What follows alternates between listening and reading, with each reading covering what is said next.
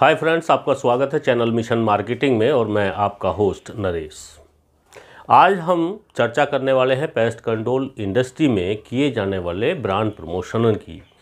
कि प्रचार जो है, वो कब करना चाहिए, क्यों करना चाहिए और कैसे करना चाहिए, ये बहुत ही महत्वपूर्ण विषय है। क्योंकि किसी भी व्यापार के पुनरुत्थान के लिए या जो है उसको आगे बढ़ाने के लिए आपके पास ग्राहक होने बहुत ज़रूरी है, चाहे वो कोई भी बिज़नेस क्यों ना हो। लेकिन स्पेशली जो है पेस्ट कंट्रोल एक ऐसा बिज़नेस है कि यदि आपके पास कस्टमर बेस नहीं है तो आप आगे नहीं बढ़ सकते क्योंकि आपको देनी है सर्विसेज़ और सर्विसेज़ के लिए चाहिए आपको ग्राहक। और ग्राहक आपको मिलते हैं जब वो आपके बारे में कोई चीज़ जानते हैं। वीडियो शुरू करने से पहले मैं आपसे अनुरोध करूँगा कि जो लोग मेरे चैनल पर नए हैं, वो चैनल को रेड बटन दबा करके सब्सक्राइब कर लें और साथ में बने घंटे के निशान को प्रेस करके उसको प्रेस ऑल कर लें। ताकि जितनी भी वीडियोस हम लोग आपके लिए पेस्ट कंट्रोल रिलेटेड या अदर सब्जेक्ट पे लाते हैं, बिज़नेस रिलेटेड, मार्केटिंग रिलेटेड, क्योंकि हमारा मिशन ही मार्केटिंग का है तो वो आप तक सही समय पे पहुँचती रहे। अब शुरू करते हैं कि हमें जो है, जो भी प्रमोशन एक्टिविटी करनी है, वो दो तरीके से एक्टिविटी होती हैं, एक डिजिटली और एक फिजिकली तो आज हम जो चर्चा करेंगे, वो फ़िज़िकल एक्टिविटी के ऊपर ही करेंगे, क्योंकि ये सबसे पौराणिक तरीका है किसी भी बिज़नेस को प्रमोट करने का, उसका प्रचार प्रसार करने का। अब जैसा कि आप सभी लोग अवेयर हैं और करते भी आ रहे हैं बहुत पहले से कि पंपलेट बना करके जो है डिस्ट्रीब्यूट करते हैं, कहीं कैनोपी लगा के डिस्ट्रीब्यूशन करते हैं, या फिर जो है किसी न्यूज़पेपर में इश्तिहार देते हैं, बोर्ड, बैनर, इस तरीके की एक्टिविटी करके जो है आप अपना प्रचार अभी तक करते आ रहे हैं। क्या ये जो प्रचार आपने किया है, क्या सही समय पे किया है? क्वेश्चन जो है, वो यही है कि जो आपने कार्य किया क्या उसकी टाइमिंग परफेक्ट थी? क्या वो सही समय था? हम लोग क्या करते हैं कि सर्दियों में जब हमारे पास कोई काम नहीं होता है तो उस समय हम जो है हैंड्स बिल वगैरह बना करके डिस्ट्रीब्यूट करते प्रमोशनल एक्टिविटी करते। बहुत अच्छी बात है, करनी चाहिए, लेकिन जब किसी व्यक्ति को ज़रूरत नहीं है उस चीज़ की, उस समय पे आपने जो है प्रमोशन किया।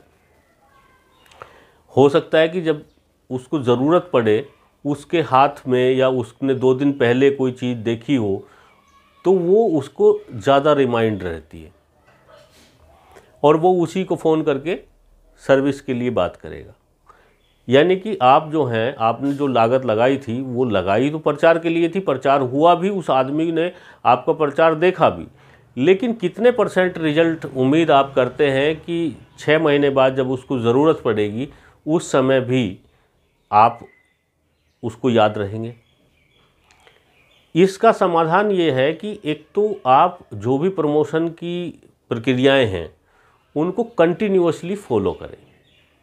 जैसे यूट्यूब पे हम लोग वीडियो बनाते हैं और वीडियो की एक जो है सर्टेन फ्रीक्वेंसी में यदि हम उसको नहीं अपलोड करते हैं तो हमारे दर्शकगण उस चैनल को छोड़ करके दूसरी जगह चले जाते हैं। यानी कि चैनल प्रॉपर तरीके से ग्रो नहीं करता। है अगर आप डेली कोई वीडियो बना रहे हैं तो उसको डेली डालिए।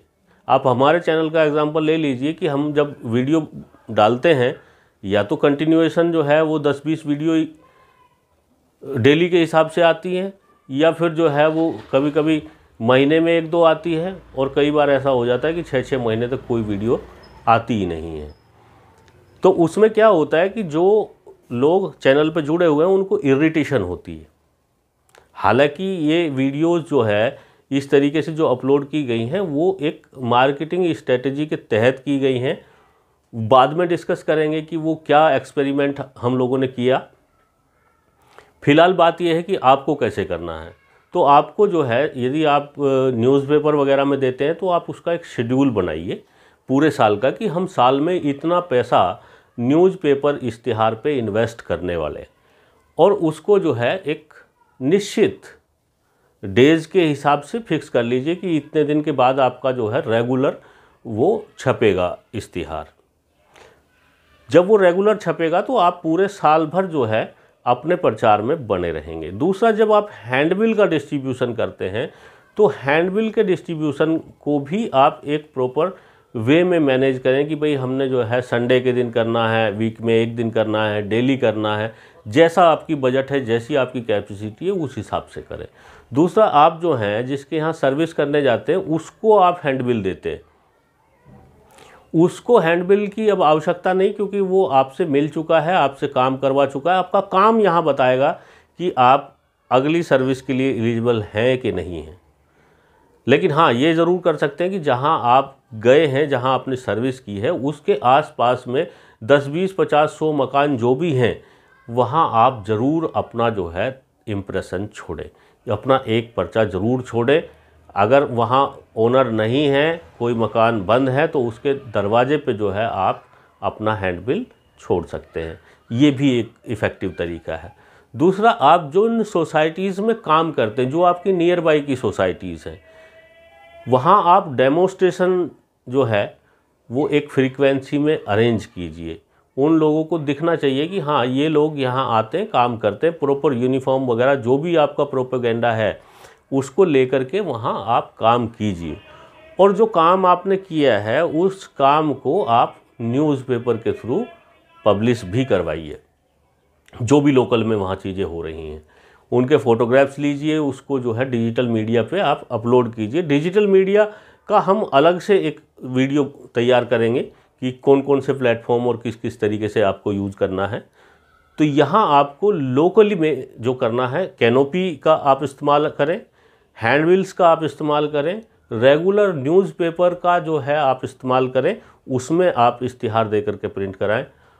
और उसमें नहीं करा रहे हैं तो कम से कम एटलीस्ट जो घरों में न्यूज़पेपर जाते हैं, उसमें आप अपना लीफलेट जो है, वो ज़रूर रखवा करके एक सडन फ्रीक्वेंसी पे भेजें। ज़रूरी नहीं है कि आपने हज़ार हैंडबिल जो हैं वो न्यूज़पेपर में लगा के भेजे तो आपको हज़ार में से सौ सर्विसेज़ मिलेंगी। कई बार हो सकता है एक भी नहीं मिले, कई बार एक, दो के हिसाब से मिले, लेकिन उन लोगों के घरों में जब वो जाता है तो कम से कम एटलीस्ट उनकी एक नॉलेज में रहता है कि ये एजेंसी है। जब उन्हें आवश्यकता होगी तो वो रिमाइंड उनके दिमाग में ज़रूर आएगा कि ये बहुत दिन से पेपर इस तरीके का आ रहा है तो इस कंपनी को भी एक बार चांस देना चाहिए। तो ये आप कर सकते हैं। दूसरा, कुछ कुछ लोकल की जो हैं, वो पत्रिकाएँ छपती हैं, बिज़नेस प्रमोशन रिलेटेड। उसमें जो है, सबके ऐड ही होते हैं। लगभग जो है, विजिटिंग साइज़ के जो है, विजिटिंग कार्ड साइज़ के जो है, वो उसमें ऐड छपते हैं। पाँच सौ, सात सौ रुपये के करीब उसकी कॉस्ट होती है और वो कहीं कहीं जो है, मंथली निकलती है, कहीं फोर्टनाइटली निकलती है और कहीं वीकली भी निकलती है।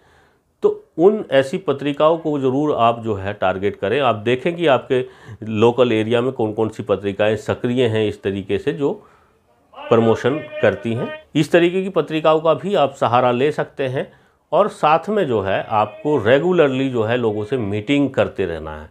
सोसाइटीज़ हैं बैंकट हॉल हैं, इन सब में जो है रेस्टोरेंट हैं, आप जाएँ, जाकर के मीटिंग करें, मिलें उन लोगों से और अपने बारे में बताएँ। अब मीटिंगें आपको करनी किस समय है और किस समय आपको केवल प्रमोशन करना है तो उसका सबसे सही समय जो है, वो अभी चल रहा है। जब ये वीडियो बन रही है, अब फरवरी का आज आखिरी दिन है और मार्च में जो है, वो ठीक ठाक गर्मी होनी स्टार्ट हो जाती है और यहीं से जो है, वो पेस्ट कंट्रोल का सीज़न ओपन एक तरीके से आप मान लीजिए कि फुल फ्लैज में ओपन हो जाता है। दूसरा, जिन लोगों के भी कॉन्ट्रैक्ट चेंज होते हैं वो फरवरी, मार्च और अप्रैल फ़र्स्ट वीक में चेंज हो जाते हैं। जिन लोगों को एजेंसियाँ बदलनी हैं, वो बदल लेते हैं। तो आप जो है, फरवरी से ही स्टार्ट करें लोगों से मीटिंग करना। उनको आप रेगुलर जो है, हर पंद्रह दिन में, दस दिन में, बीस दिन में जो है, मुलाकात करने की कोशिश करें, फ़ोन पे बात करें और अपना प्रेजेंटेशन उनको ज़रूर भेजें, अपना कोट भेजें। हो सकता है कि आपने जो है सौ कोट भेजे हों तो उसमें से दस कोटेशन आपकी एक्सेप्ट हो जाएँ।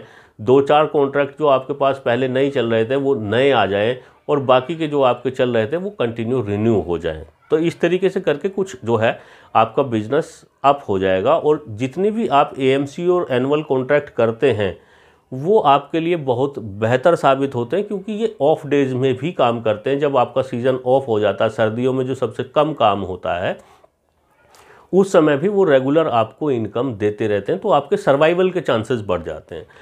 और एक सज्जन ने जो है कमेंट करके पूछा था हमसे, राकेश जी ने, कि सर कौन सा महीना जो है वो सबसे ज़्यादा पेस्ट कंट्रोल होता है? ऐसा कौन सा महीना आता है? तो मैं आपको बता दूँ, गर्मी के जितने भी महीने होते हैं, वो भारत में बहुत अच्छे माने जाते हैं। यहाँ के वातावरण के हिसाब से जो है इंसेक्ट पेस्ट कंट्रोल के लिए सर्विसेज़ की डिमांड बनी रहती है। और जिन कंट्रियों में रेगुलर जो है गर्मी रहती है, दुबई जैसी कंट्रियाँ हैं और बहुत सारे जो है मरुस्थलीय क्षेत्र हैं, वहाँ गर्मी अधिक होती है तो वहाँ पूरे साल भर इसका सीज़न ही रहता है। ये तो सर्दी होने की वजह से ना थोड़ा सा मच्छर मक्खी दिखाई देना कम हो जाते हैं, हालाँकि ख़त्म नहीं होते हैं तो जब वो कम हो जाते हैं तो लोग भी सोचते हैं कि अभी क्या ज़रूरत है, अभी कोई ज़्यादा प्रभाव तो पड़ नहीं रहा है। तो उनको अवेयर यदि आप कर देंगे तो ये सर्दी में जो ऑफ़ सीज़न वाला समस्याएँ हैं, वो ख़त्म हो सकती हैं, अगर सारी कंपनियाँ मिल करके एक अभियान चलाएँ, इस अवेयरनेस को जो है लोगों तक पहुंचाएँ और थोड़ा सा जो है ऑफ़र वगैरह आप दें सर्दियों में उन लोगों को कि भाई जो है जो पाँच सौ रुपये की सर्विस थी, अब वो तीन सौ में हो रही है। अभी बुक कराने से हम जो है आपको इतने परसेंट का डिस्काउंट देंगे एनअली यदि आप बुक कराते तो इस तरीके से करके आप उनको मोटिवेट कर सकते हैं और अपने बिज़नेस को सस्टेन करने के लिए आगे बढ़ा सकते हैं। मुझे लगता है कि जानकारी आपको पसंद आई होगी। यदि पसंद आई है तो इसको आप चैनल को लाइक, शेयर और कमेंट कर दीजिए। और साथ में हमें ये भी बताइए कि क्या आपको डिजिटल प्रमोशन की वीडियो चाहिए तो हमें नीचे कमेंट कर दीजिए। हम बहुत जल्द जो है एक नई वीडियो डिजिटल प्रमोशन के ऊपर डिटेल में लेकर के आएँगे कि कब, कहाँ, कैसे, किस प्लेटफॉर्म का इस्तेमाल करके आप बेहतर रिज़ल्ट गेन कर सकते हैं। तो बने रहिए चैनल पे और मिलते हैं फिर किसी अन्य वीडियो में। धन्यवाद।